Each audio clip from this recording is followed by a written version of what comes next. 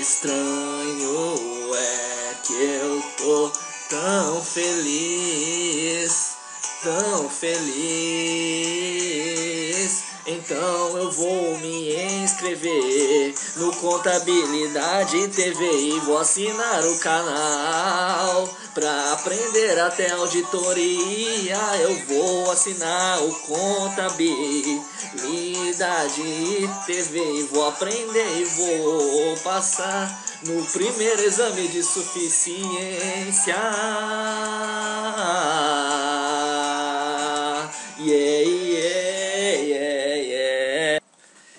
Pessoal, chega de música, chega de cantar, vamos ao que interessa, que é falar sobre o primeiro exame de suficiência de 2017. É, já as inscrições estão abertas aí, por isso eu senti o dever de vir falar para você que está tranquilo e favorável, está pensando mais no Natal, nas festas do fim do ano. Claro, tem que curtir mesmo as festas do fim do ano, tem que aproveitar mesmo, eu também estou aproveitando legal, é o máximo. Mas, né, tem que estar tá atento aí para não perder o prazo do primeiro exame de suficiência de 2017, pois as inscrições já estão abertas. Assim, começaram nessa semana aí, na verdade no dia 19 do 12, as inscrições para o primeiro exame de suficiência de 2017. Elas vão até o dia 19 do 1 de 2017. Então você pode curtir as suas festas de Natal, fim do ano, né, belezinha, e depois aí você se inscreve, ou até já faz a inscrição agora mesmo aí, e fica tranquilão, né? Mas o prazo é até o dia 19 de janeiro do ano que vem, no caso, ano 2017. E assim, os estudantes de ciências contábeis que pretendem fazer é, a inscrição, elas podem realizar sua inscrição diretamente no site da Fundação Brasileira de Contabilidade, que é a FBC, né, e no site do Conselho Federal de Contabilidade, que é o CFC, né, Conselho Federal de Contabilidade. A taxa de inscrição agora é de 110 reais, aumentou, antes era 100 reais, na minha época era 100 reais, agora já é 110, né, não sei porquê, aumenta sendo que a qualidade do exame só piora. Uma crítica para vocês desse, da FBC, viu? Para vocês da FBC e para o pessoal do CFC. Eu não vou ficar puxando o saco de vocês não. Ó, a qualidade da prova de vocês só piora e a inscrição ainda aumenta. Isso aí tá muito errado, viu? Então eu sei que alguém vai acabar assistindo esse vídeo daí, então fica aí a dica para vocês, né? É, todo mundo sabe que é cheio de falhas, exame de eficiência anterior aí, né? E, e qualidade né, não aumenta, mas o preço aumenta. Então uma crítica para vocês. E as provas vão ser aplicadas até o dia 26 de março de 2017, como de costume. Então é isso aí, né? E se você quer saber mais aí, eu vou fazer nesse vídeo aqui um comentário sobre o edital, enfim, fazer umas críticas aí. É, mas antes, se você quer mais vídeos como esse, clique nesse botão vermelho onde estou passando o mouse. Clique aqui e inscreva-se gratuitamente em nosso canal no YouTube. Siga também no Instagram, arroba contabilidadeTVI, e no Facebook, facebook.com.br contabilidadetv. Já são mais de 15 mil curtidas lá no Facebook. E aqui no Contabilidade TV no YouTube já estamos chegando a 46 mil inscritos. Então é isso aí, né? Ajuda aí o canal a crescer. Vamos junto aí, né? Se você quer se inscrever no canal, ó, clica nesse botãozinho vermelho, ó, subscribe, se tiver em inglês, ou inscrever-se em português.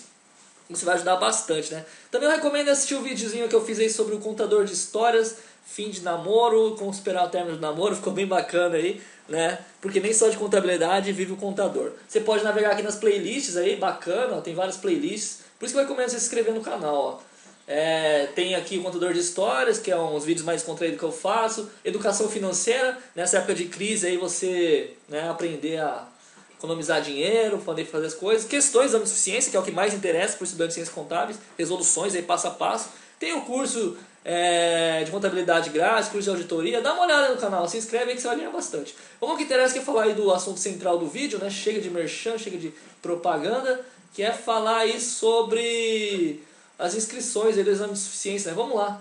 Né? Primeiro exame de suficiência 2017, que no site da FBC você vê que já está as inscrições abertas ali, né? Inscreva-se aqui. Então você pode entrar no fbc.org.br e fazer a sua inscrição ali na exame de suficiência 2017 edital. Né? Tem aqui o edital. Vamos clicar aqui, né? Você clicaria aqui, fazer a sua inscrição, como de costume, abriria essa outra página e você vai lá, de seu CPF, CPF, CEP da sua residência, vai preenchendo os dados aqui, né? São cinco etapas aí depois gera o boleto para você poder pagar e você consegue se inscrever. Né? Eu não vou fazer isso aqui porque senão vai deixar o vídeo muito grande, né? Mas só estou mostrando que você pode se inscrever aqui no FBC ou até no site do CFC, né? o Conselho Federal de Contabilidade aí, né? Tem aqui também primeiros anos de suficiência 2017, inscrições abertas, é a mesma coisa. Você escolhe um dos dois sites, tanto CFC quanto FBC. Eu recomendo mais você fazer pela FBC, viu? Porque depois você fica acompanhando ali tudo é, já vem as provas, tudo fica por ali mesmo. Que na CFC, é, no final você tem que voltar aqui para o site da FBC. para ver as provas, os gabaritos das coisas, né? Aqui às vezes demora um pouquinho mais para sair no CFC. No FBC geralmente vai mais rápido. Mas, né, fica a opção aí, né? Tanto é, no CFC como no FBC. Aí tá, beleza, né? Tranquilo. Aí vamos ver agora o edital aqui. Vamos analisar um pouquinho o edital, fazer uns comentários breves aí, né? Eu não preparei muito isso aqui, mas vou fazer uns comentários breves aí do edital. Esse aqui já é o edital do, do primeiro exame de ciência de 2017 aí, né? Tem aqui o valor, por exemplo, o dia, né? Fala aqui, né? O local e período né, da inscrição. Local e período deverão ser efetuados também no site da FBC ou no site do CFC, como já foi falado aqui, né? É, o período vai ser ali das 10 horas do dia 19 de dezembro de 2016 até o dia 19 de janeiro de 2017 para a categoria de bacharel em ciências contábeis. Né? Enfim, é o prazo que já foi falado aqui também para vocês. Agora não tem mais como fazer exame de ciência técnico, né? já não é mais novidade isso, agora é só para bacharel mesmo. Então, se você é bacharel e está no último ano é, da faculdade, você já pode fazer inscrição. Ou se você é bacharel e já concluiu, obviamente você pode fazer também. Né? Aí aqui tem todas as informações para você. É, eu recomendo bastante. Vou deixar o link, no, o link do edital aí no vídeo para você dar uma lida com mais calma para poder poder ficar por dentro, né? O primeiro passo para você passar no exame de suficiência é ler o edital, viu, gente? Você tem que ler o edital, porque aqui ele fala os prazos é, das inscrições, fala o valor, aqui, a taxa de inscrição no valor de 110 reais, né? Tá, tá, tá. É, fala o dia da prova, fala o horário, enfim. Então eu recomendo bastante você ler aqui, né? E vai te ajudar pra caramba mesmo, né? Principalmente com a questão aqui é, das matérias que vão cair, viu? Ele fala que as matérias que vão cair, por exemplo, vamos lá, vamos dar uma lida rápida aqui, ó. Próprio bacharel em ciências contábeis, contabilidade geral sempre cai, que é a parte aí de balanço, DRE, DFC, DVA, depreciação. Olha, essa matéria é que você tem que mais estudar, viu? Porque essa aqui cai aproximadamente umas 12, 13 questões aí. Já começa por aí. É, uma de contabilidade, é, uma de balanço vai ter, uma de DRE vai ter, certeza, débito e crédito, depreciação, é, DFC, DVA, DRE, DRA, isso aí é certeza que vai cair, isso aí é certeza não. Então assiste os vídeos de contabilidade TV onde foram feitas exaustivamente esse tipo de questão aí, para você já ir com os 13, 15 pontos garantidos. Você tem que acertar 25, né? Com a, com a contabilidade geral você consegue uns 13, 15 pontos aí garantido. Contabilidade de custos, que você tem que ter muita atenção, porque sempre cai umas 3 a 6 questões, né? Cai muita contabilidade de custo. Então, ó, começou a chover, não sei se vai atrapalhar no vídeo aí, o barulho da chuva, começou a chover bem forte aqui, né? Mas enfim, vou continuar gravando. Contabilidade de custo, muito importante, tem que ficar atento, porque isso aqui sempre cai muito mesmo. É matéria difícil, mas que também tem vários vídeos aqui no Contabilidade TV que foram resolvidas questões de contabilidade de custo exaustivamente. Então é compensa estudar contabilidade de custo como segunda prioridade, depois da contabilidade geral. Contabilidade aplicada ao setor público, é, é uma matéria bem complexa né, e cai pouco. Né, cai pouco. Se você tiver bastante tempo, estiver vendo o vídeo hoje, você tem bastante tempo para estudar, lógico que você tem que estudar, né, compensa. Né? Agora você está estudando de última hora para a prova, você está aí com, sei lá, uma semana antes da prova vendo esse vídeo quer começar a estudar agora, aí, meu amigo, esquece contabilidade do setor público, esquece aí, se dedica contabilidade geral e contabilidade de custo, revisa mais isso aí. Contabilidade gerencial cai bastante também, tem muito a ver com contabilidade de custos. É, muitas questões são meio é, é meio custo com gerencial junto, e gerencial com custo junto, então é, recomendo estudar bem. Controladoria não cai muito, viu gente? Não cai muito. Claro que você tem que estudar controladoria, né? Óbvio que você tem que estudar, mas é, como se diz, se você está com pouco tempo, então não não estuda muito controladoria, estuda mais contabilidade geral, contabilidade de custo. Noções de direito, legislação aplicada, é, sempre cai, óbvio, né? CLT, né, consolidação das leis do trabalho, CTN, né, Código Tributário Nacional sempre cai, por aí vai, né?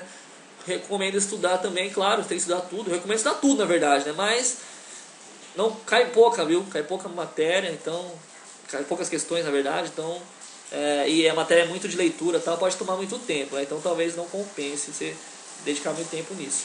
Noções é, matemática financeira, né? Estatística, tem bastante vídeo aqui também que a gente resolve é, sobre questões de juros compostos, juros simples, aquela coisa toda, sempre cai no exame de ciência. Olha, gente, eu vou fechar a janela aqui porque começou a chover muito forte mesmo. Né? Muito forte. Aí fala, ah, o cara é um amador, não. O cara grava vídeo e não edita nada. Mas é que assim, gente, é, esse vídeo eu tô fazendo bem na correria mesmo, viu? Bem na correria, porque eu tô numa correria de festa de fim de ano, tem que montar a árvore de Natal, é, comprar presente, aquela coisa toda. Tá complicado. Terminei com a namorada, é difícil, né? É difícil. Aí fala, ah, mas é isso, gente, tô fazendo mais um bate-papo mesmo, não é nem um, um vídeo muito formal assim editado, não. Hoje é mais um bate-papo mesmo. E vamos lá, vamos lá, falar mais sobre as questões. Aí. Controladoria, noções de direito, matemática financeira, teoria da contabilidade, né, que é bastante teórico aí, né? Tem que ler bastante. Legislação e ética. Ó, esse aqui você tem que estudar, hein? É muito pequeno a ética, é pequenininho o código de ética e cai umas 5, 6 questões aí. Então estuda a ética, ó, prioridade, contabilidade geral, custo e ética. Eu, na época que eu fiz, que eu passei no sétimo semestre na faculdade, né? Eu estudei só isso aí, eu passei. Né? Passei ele com, acho que umas 33 questões que eu acertei, passei no sétimo semestre, né? Tem gente que fala assim, pô, o Léo ele acertou 50. Não, na época eu não acertei 50 não, viu?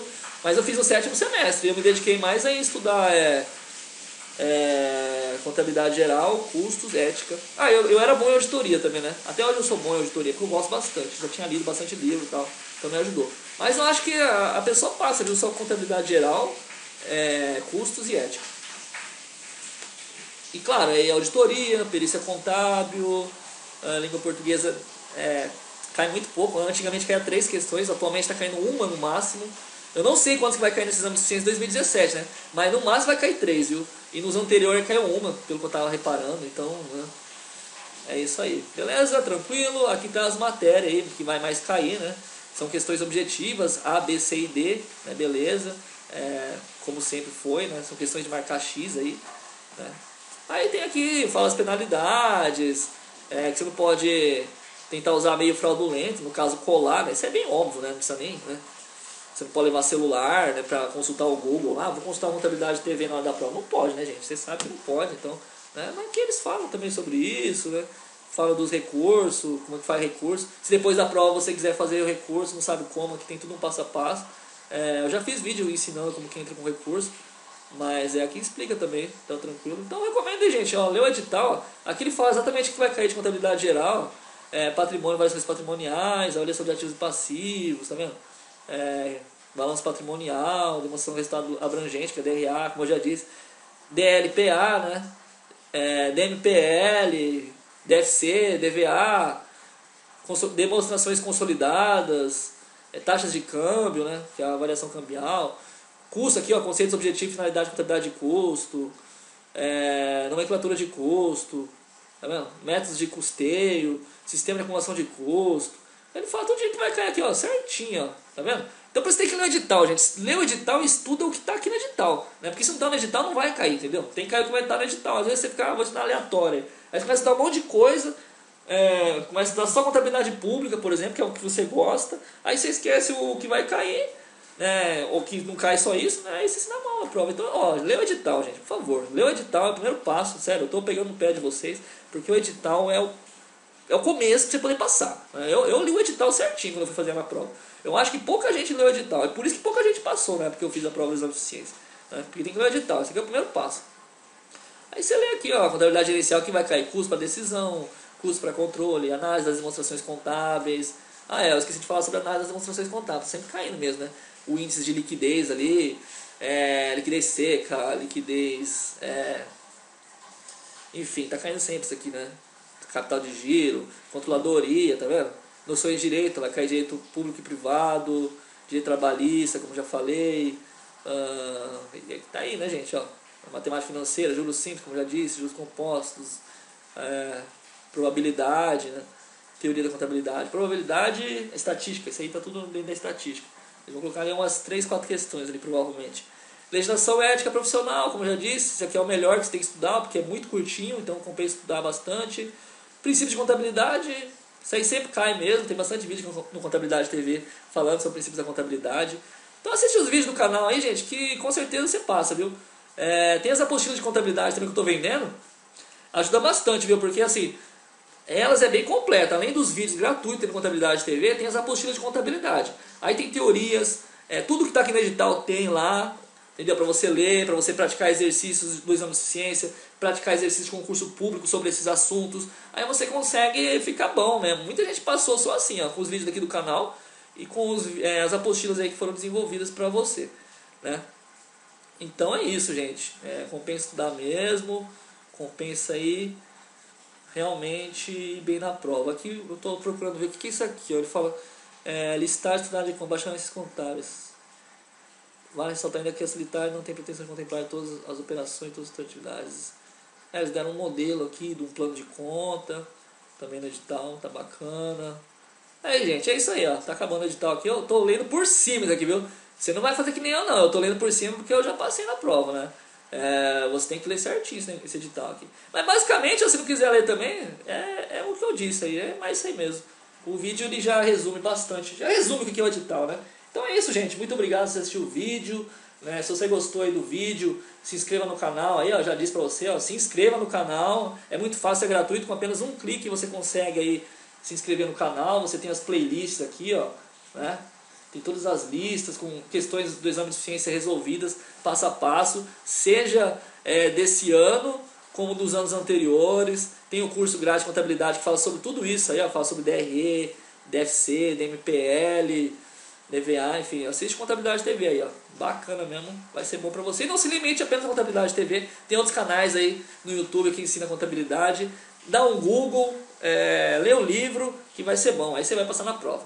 Compra as apostilas do Léo e aí você ajuda o canal e também se dá bem na prova, beleza? É, se quiser apostila, manda um e-mail para contabilidade.tv@hotmail.com. De lá você recebe um catálogo com todas elas e daí você consegue é, ver qual que você quer, tem os pacotes lá forma de pagamento. Assim que você pagar, você já recebe elas e você consegue estudar e se dar bem na vida. Quer crescer na vida, tem que estudar. Porque lembre-se, minha gente, lembre-se, a caneta ela é bem mais leve que a pá. A caneta é enche saco, enche saco você trabalhar com caneta ali, estudando, intelectual. Mas é menos pior que a pá de baixo do sol quente. Então pense nisso, né? vamos estudar, é o único caminho mesmo. Estudar, conhecimento, é, aprimorar a gente aí como ser humano. E vamos junto tornar aí é, a, a, nossa classe contábil muito melhor. Valeu, galera. Deus abençoe. Boas festas de fim de ano aí. Bom Natal e bom fim de ano. E 2017 tamo junto aí. Vamos começar forte aí, beleza? Compartilhe os vídeos nas redes sociais. Dê um joinha porque é muito importante pra mim. E beleza. Fui. Agora vou tomar meu tereré aqui e vou continuar fazendo as festas. Fazendo a montar a árvore de Natal ali. Fazer as loucuras aí do fim do ano. Beleza? Fui.